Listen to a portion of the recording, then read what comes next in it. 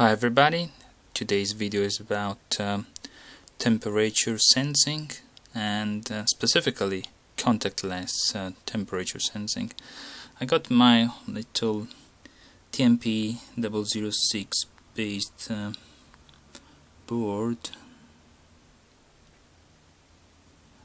and I hooked it in my test circuit so let's um, let's power it on and see what happens.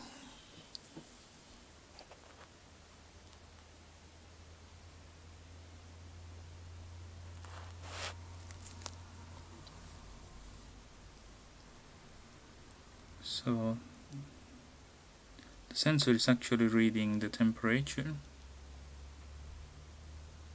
of whatever stands in front of it which in this case is uh, about the room temperature and partly myself. So what I will try now is I will put my hand on top of it and see appreciate the increase in the reading. So we're actually at um, about 28 degrees. It's not very warm in here, but my hands are usually not too warm.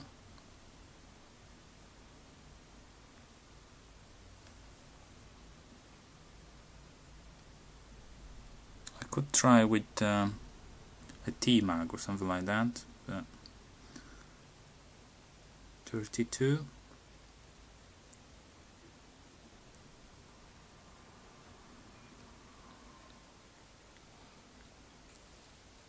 That's about it.